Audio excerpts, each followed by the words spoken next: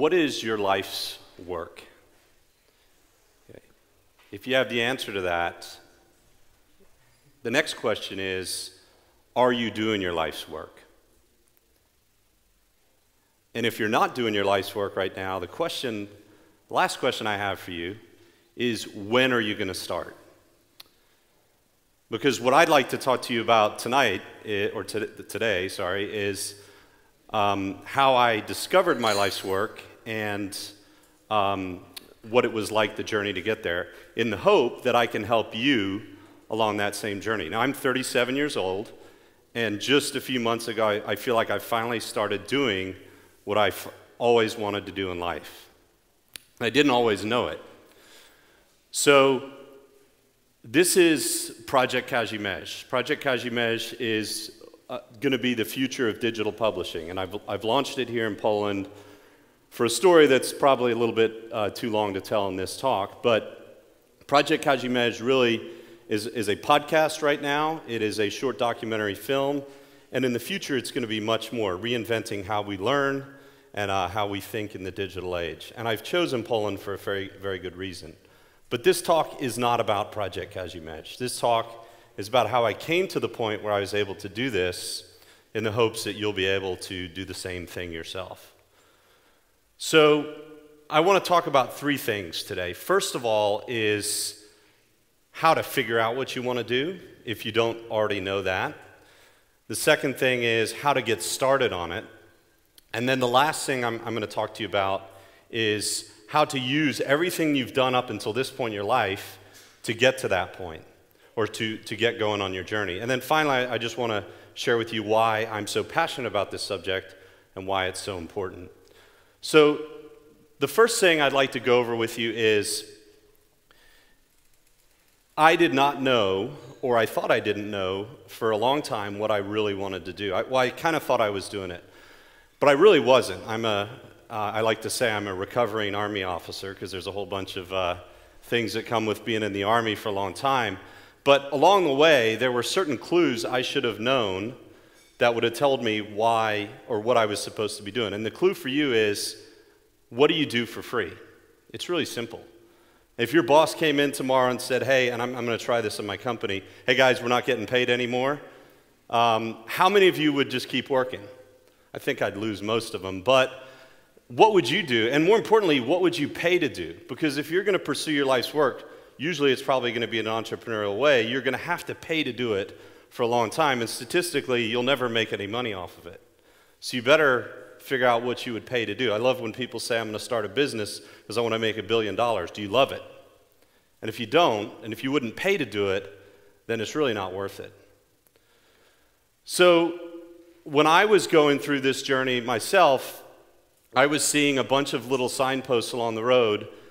As an Army officer, what I used to do in really stressful times was I would start dabbling in digital media. It started in 2005 when I was in Iraq working 18 hour days, and at night, to blow off steam, I was building a website. Now, I wasn't coding it.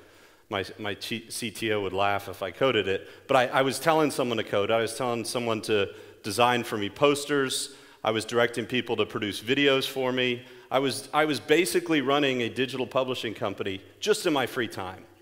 But I didn't really get, I didn't really figure it out. So I came back from Iraq, and then on my preparation to go to our next tour from Iraq, I created a, a troop website for the soldiers. We had 140 soldiers in our unit. I wanted to keep the families informed of what was going on. So, uh, this was before the, the age of Facebook, which made it infinitely easier. We created a website, which was a novel idea back in those days for an Army unit. When I got back from Iraq, I went to graduate school. Finally, a chance to rest after three and a half years of, of very uh, intense time, two tours in Iraq. And what did I do with all my free time? I started a company, uh, a tourism company in New York City. And I, I realized uh, pretty soon after I started the company, I wasn't passionate about tourism because whenever the times got tough in the business, it was really tough actually, many times, I would go rebuild the website because that's what I was interested in, that's what I thought would save the business. So when I finally wound down that business while I was still in the Army, well, what do I want to do next? Because I knew at this point I really didn't want to stay in the Army, but I didn't have an idea what I wanted to do. I said, okay, well, maybe I'll just start working on websites for other people. And that's the way I got evolved towards the the point where I, I realized this is what I need to be doing. What do you do right now? What do you volunteer to do? What do you pay to do? What are your hobbies that you pay to do? And my grandiose vision of, of reinventing publishing doesn't have to be what your passion is. Everyone has different levels, uh, different, different levels of what they want to achieve. Uh, and and my, my cousin, who's an amazing person, he's a golf course manager, and his passion his whole life was golf, and now he's managing a golf course. And he's as happy as he's ever been because he's doing something that he's passionate about. So think about that. The next step in getting started is, and I think this is really critical before you get started, write down your life story. When I was 22, I actually was forced to do this, and if I look back on it and I read that again, that was actually what I, pretty close to what I finally decided I wanted to do. It just took me 15 years really to get started. And I was, the, the occasion was I was applying for the Rhodes Scholarship, and I didn't make the Rhodes Scholarship, but I remember my mentor telling me the most valuable thing about this process is that piece of paper, 500 words. It took me six months to write it because we only had 500 words. And that was how they judged mainly how you, what you're going to do if you, or if you get the scholarship. And I wrote it down and I look back on it. That was really the blue, blueprint for what I'm doing, which is eventually going into uh, reinventing how we train and, and, and teach leaders in the world. So when I was teaching at West Point, I made uh, some cadets that were working with me in the mentorship program do the exact same thing. Now, they'd gotten in trouble. They'd gotten a lot of trouble, actually, and West Point was considering kicking them out. And they said, hey, go find yourself a mentor. And they came to me and said, hey, we need a mentor. I said, well, don't come to me if you want it to be easy. And they still decided to do it. So I said, all right. And what I used to do is I made them write all the time about their life, just reflecting on it. And at the end, to graduate from the mentorship program, so I could tell the administration I thought they'd learned their lesson, I said, I want you to write your obituary. It's pretty uh, morbid, isn't it? But then I said, I want you to write two versions of it. I want you to write the best case scenario, what, what you would love to do with your life, what it, would go, what it would be like if you pursued your dreams. And I said, and then write what it would be like if you don't change right now. Okay? So if you want to really get down this path, you know what you want to do, but you don't know how to get started, just write something down. Okay? Because what it's going to do is it's going to make you get really clear on what will happen if you do it, and then also write down the other version what's going to happen if I stay in this path that I'm currently on, if I don't take that step that I know I need to take. So that's great. Write your story down, everything's going to go great. But here's what's going to stop you. When you start down that path, or when you try to make that first step, here's what stopped me. I was 13 years as an Army officer. I'd spent four years before that studying at the United States Military Academy. I had 17 years, 35 years old, 17 years, half of my life invested in this Army thing. Everyone was really proud of me. Everyone would say, Thank you for your service to your country. It was great. Really hard to leave. Six figure a year job in the United States. That's about half a million zlotys a year. Seven years away from a pension a government, US government pension. That's the last thing the government's going to cut before it goes under. If you stop paying US Army officers, you're going to have trouble, retired US Army officers. So that was something everyone told me I was crazy to walk away from it.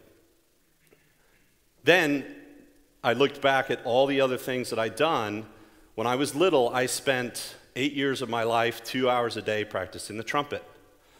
I quit my senior year of high school because my best friend beat me in the Louisiana trumpet competition. I couldn't have that. Decided to go into the Army. I had studied six years of my life, which is a really, really useful uh, major to have history, European history. Great major to have, right? Very practical. Like, like developing, like coding. Very practical, great job skills. What are you going to do with that? Teach, okay? So I have three things that I thought I wanted to do when I grew up that I had to figure out and reconcile. How do I walk away from all this? I've been studying, I have a master's degree in history, I've got all this time invested in the Army, I have all these great things that I've supposedly done. I used to play trumpet, but that's a long time ago. But what you need to do, and what I decided to do, was how do you integrate that and make your journey into your new field unique? How do you bring your unique abilities to that? So, how do I integrate music into publishing? I love music. I love composition. I love great music. So now I have that taste. I know how to recruit and hire people who do that. History. Well, there's not much practical from it, but I know how to read quite a bit and I know how to think about it and come to some kind of conclusion and tell a story. That's actually pretty good for the publishing industry. Even though I can't program, I can't use Photoshop, I can't do any of that other stuff, these are great skills that give me a unique perspective on this very digital project that I'm going on to. And then finally, as an Army officer, um, well, I just know how to shoot tanks and mortars and all that other kind of stuff. And actually, really, I wasn't very good at that. I just tell people how to do it. But that was my skill, not getting good at any one thing, but figuring out just enough about that and then being able to pull back and direct other people to do that. So those skills actually, which you think are a waste if you leave them, can become your greatest asset as you move on to the next thing. Okay, so that's great. You know what you need to do. You've reconciled. You're, you're not walking away from things that you've done before. You're actually going to bring them with you. But then it gets really, really hard.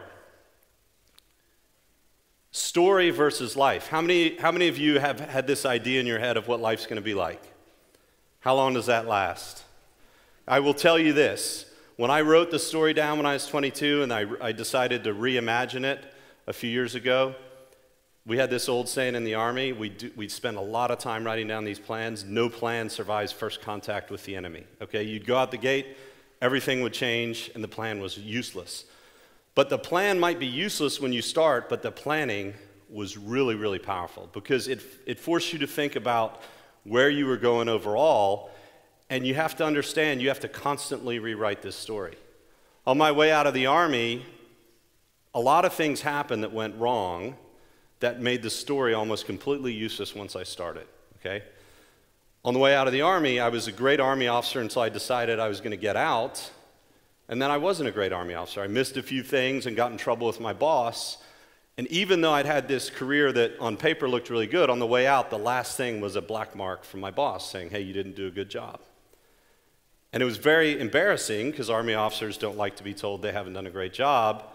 And it felt like I'd been fired even though I'd decided to quit before I got fired. The second thing, I was supposed to get married, and that didn't work out. I broke off the engagement a month before my wedding. And then finally, my first business, which I'd started, the tour company, didn't work out. So I'd failed financially, failed in a relationship, and failed in my job. That's, those are three things. And I was reading this article, and they said when you lose a relationship or lose a job, that's like a death in the family. You have a year's worth of mourning. Well, I had that. I had a year's worth of mourning for all those different areas of my life. And then my little brother passed away two months right after that. So, the only thing I think that got me through that year, where I had four different things in my life that had completely fallen apart, was knowing exactly what I was doing and what I wanted to do. Because, you know, that was, that was hard. And a lot, of, a lot of people were jealous. I'd left the army, I started traveling around the world, but really I was just hiding from everything. The only thing I was doing while I was traveling, everyone thought I was having a great time, I was just working all the time. But it was in, you know, Australia one day, and then next, next uh, week it was in Singapore or wherever I went. But I wasn't having a great time. I was working really, really hard. I was doing it for free, wasn't getting any money. But it was, it was something I was really passionate about. And that's really important. And it's going to get you through the tough times when everything else in your life falls apart if you're really going after what you should be doing. And that's why this is so important. That's a picture up there of my mentor in the Army, uh, Colonel H.R. McMaster at the time, and Sergeant Major Burns, his, uh, his right hand man. And I spent 18 hours a day with him throughout a, an entire year's worth of combat in Iraq, the Battle of Tal Afar. And we lost a lot of people there. We lost a lot of soldiers. And the hardest part about that job, aside from the, the hard work, really was writing letters home for the colonel, drafting them so that he could edit them of the people who'd been killed to their families. And he called me right after my brother passed away. And he was one of the only people who called me, actually. I mean, most friends would text you or email you and say, I'm sorry, but didn't really want to talk. But he called me, a busy three star general, for about half an hour. And, and what I remember was he said, just remember what we always used to write in those letters, which is, let us live more fully so that we can honor your memory. And when I think back about my brother and what I'm doing now, he was a musician, he was a philosopher, he was, he was everything. He was a brilliant guy. And to be able to run a publishing company to make ideas get out there in the digital world in a better way and give composers some work, because he, he always complained about that, um, is really my passion going forward. And I, I couldn't be prouder to be doing it, to have named my publishing company after my brother. And I would just like to show you a short preview of what we've created uh, starting this journey towards transforming digital publishing. If you play the video.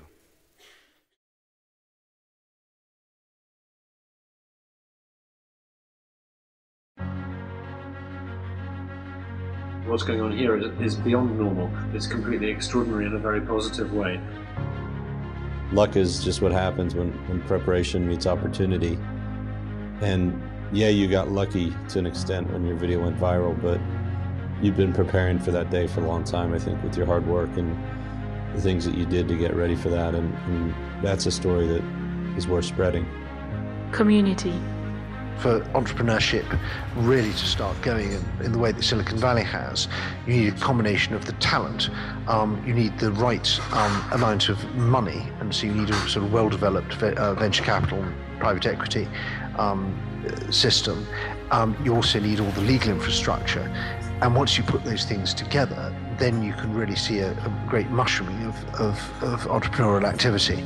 Poland is rejoining its place in Europe as interestingly, as you point out, as old Europe seems to be turning turning away. Entrepreneurship. Business brings the world together. It may be quite brutal, it may be quite you know, simple, it may not be very intellectual or, or refined, but there's something about the entrepreneurship. There are only two kinds of people that the ones that are discouraged by failure and the ones that are encouraged by failure. And that what makes the difference. Technology. I, I, see in the younger generation a completely different relationship with the world as a result of technology. It's Innovation in Europe by Project Kazimierz. Now another episode with your hosts Richard Lucas and Samuel Cook.